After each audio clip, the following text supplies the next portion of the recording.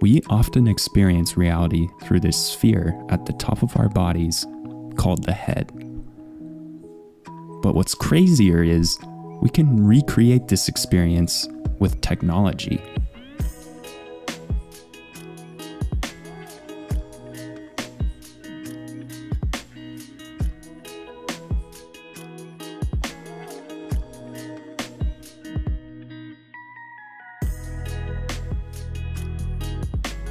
Last week, we created our first spatial audio experience using Apple's framework called Phase. But as you may have noticed, something critical was missing from this experience. You see, we experience sound through our head, which moves with us when we're rocking out to our favorite jam, and this changes the way we perceive the world around us. Using the Core Motion framework and the Apple AirPods Pro, we can apply this head tracking effect to the sound we want to perceive in the real world. And today, we're going to be doing just that with this Audio 3D example in the cookbook. The AudioKit Cookbook is an essential tool for iOS audio developers. It includes numerous audio examples to do just about everything. And the best part is it's made by open source devs who put their heart and care into this work, so please make sure to give it some support. Now, the app does work with Bluetooth headphones. Today, as I said, we're going to be using the AirPods Pro to perform head tracking. But before we do that, let's see what the baseline looks like. So if we go to Mini Apps, then we can click on this Audio 3D and start playing some audio. Now, as we pan the audio around, you can see that it actually pans around our ears and we can even use two fingers and drag up to change the elevation. Pretty cool, huh? The first step we need to do to enable this motion tracking is prompt the user to allow it. Just as every piece of data, we want to make sure that the user knows what we're doing.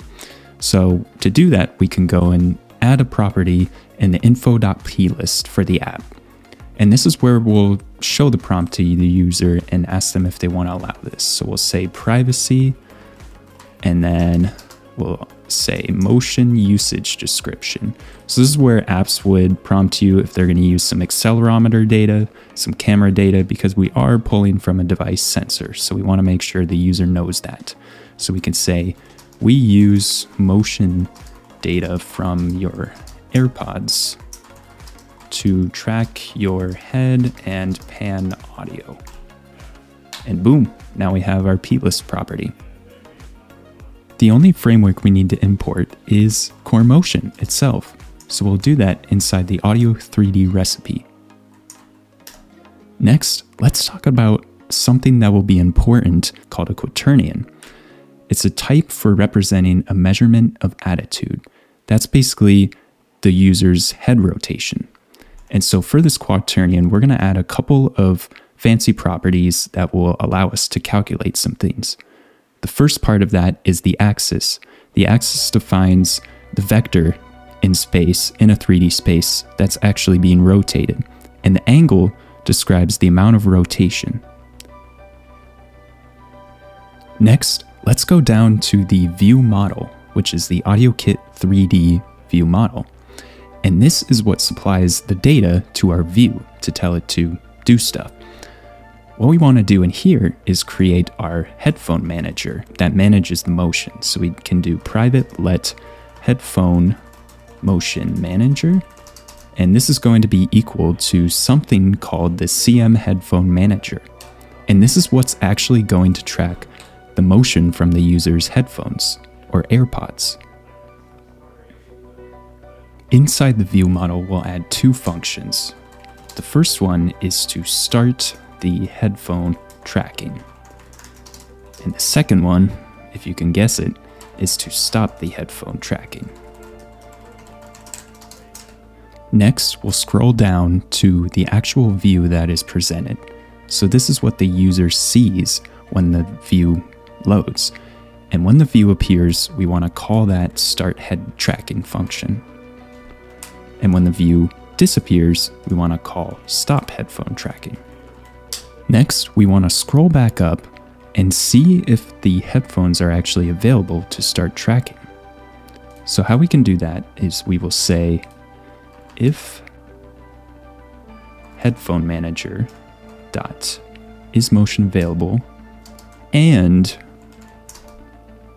headphone manager dot is motion active and what we want to do is say if it's not already active then we will do headphone motion manager dot start device motion updates and this takes two things the first thing it takes is the thread or kind of the sort of task manager that the operation is going to perform on. And mostly we want to do most things that aren't related to audio on the main thread. And the second thing it's going to take is a closure, which is going to take in the device motion. And this is an optional, so we got to be careful about that. And it's also going to take in an optional error. So we're going to say if let device motion equal the device motion. So we're basically saying if this exists, let's create a new device motion over here. Then we can print that device motion. Otherwise, if there's an error that exists, so if let error equal error, print the error and print its localized description that will print out a description that's in the corresponding language which the user selects. And then stop headphone tracking is a lot easier. All we have to do is say headphone manager dot stop motion updates. And now we should have motion tracking. It's that easy. Now it's time for some fun. Let's hope this works. I'm gonna put my AirPods in so we can use the motion tracking. All right, nothing's crashed yet. So if we go into mini apps, then we go to Audio 3D, you'll notice it will ask us if we want to track our motion and fitness activity. Has nothing to do with fitness, I guess, but and then you could see we use motion data from our AirPods to track your head and pan audio. So let's go ahead and enable it. And now we can see that things are actually printing out to the console. How cool is that? The last thing we need to do today is figure out how do we actually get this motion data connected to our scene? Well, that's easy. We delegate. If you look carefully throughout the code, you'll actually find a class that would be the perfect person in real life to delegate this task to, the scene coordinator. So what we're gonna do is say CM headphone motion manager delegate. And this is going to allow this scene coordinator to be able to pick up some of the tasks of updating the headphone motion to change the scene. Now, instead of having our view model update this headphone motion, let's delegate that task. So we can move down to the scene coordinator and actually give this thing an update motion handler. And this is an optional property. Next, we can add a device motion below that for our motion data. And of course, since this is optional, we'll also make the motion data optional. And this will be a little bit tricky later, but I'll show you how to get around it.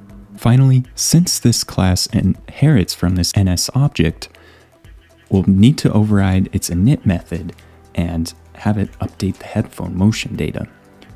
So inside this init method, that's where we'll actually set this function that updates the device motion, which is the device motion handler. And we'll pretty much do the same thing that we did up above, where we set the motion data and the error, and then we unwrap those and print if there's no data to process or if there's an error. But if we get motion data, then we don't print it, we just assign it to our motion data. Now, what happens if the user disconnects their AirPods while using this motion data? Well, when the user disconnects, the motion data will actually stop streaming. And because of that, we want to add some functions that are handily included inside the delegate that will allow us to detect when the user disconnects the headphones. So we first have the headphone did connect function, and we also have the function that says did disconnect. And inside the function that disconnects, we want to set motion data to nil so that we don't get some weird data. And we also want to do the same thing in our view model when the headphone tracking stops so that we don't access that motion data.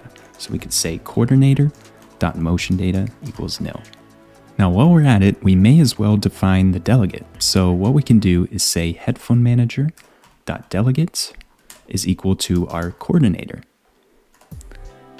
And next we also want to unwrap something else here. So we want to say if coordinator dot update device motion and we want to assign that to our update device motion.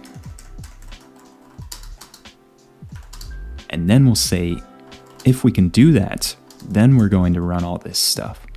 And instead of running this block here, now we can use our update device motion. So we say, instead of this, we can use the same function, run it on the main, and then with the handler, coordinator dot or actually we can just use this since this is a value. So we'll say update device motion. And there we have it. Why did we do all this? Well, because again, we wanted to use all of this data to control the scene. So what we can actually do here is inside this renderer function in the scene coordinator, we can paste all of our quaternion transforms that transform this thing called the point of view. And what the point of view is, is that is the camera inside the scene that actually looks at the sphere. And we can rotate that camera by using the rotation that's measured.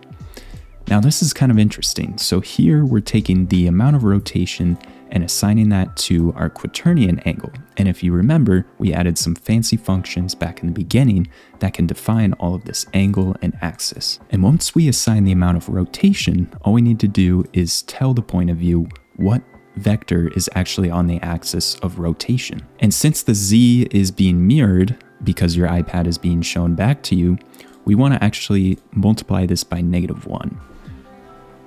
Wow, that was a lot. I don't know about you, but I'm getting excited to try this thing out. So let's go. Now what I find best is you'll notice we actually haven't calibrated anything. So when the sensors start running, the scene's gonna be kind of messed up. So what works best is you wanna hold your iPad in front of you and look forward for just a few seconds. And look at that, we got motion tracking.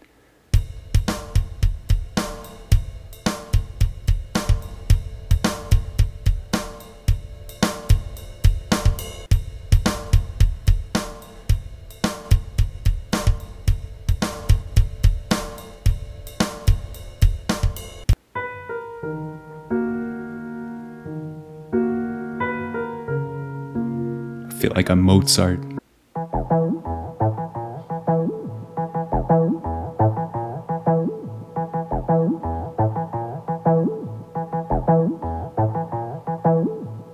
In summary, today we learned that we can use the Core Motion framework and extend it to our AirPods.